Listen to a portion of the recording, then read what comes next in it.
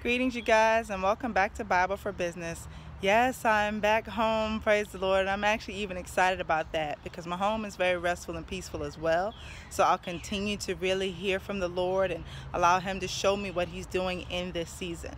However, that retreat, going to the beach, it was commanded by God.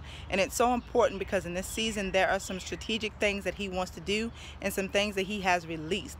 Ecclesiastes chapter 8, verse 6 says, for there is a proper time and procedure for every matter, though a heart may be weighed down by misery.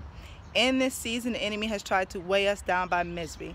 Many of you have experienced loss, just as me and my family have experienced tremendous loss. We have certainly uh, been in a, in a place where we've been mourning but the Lord has a proper procedure, and this is the timing. He's given us strategy and wisdom, and it's time to move forward to reclaim our nation and rededicate it back to Him. I'll be sharing more soon.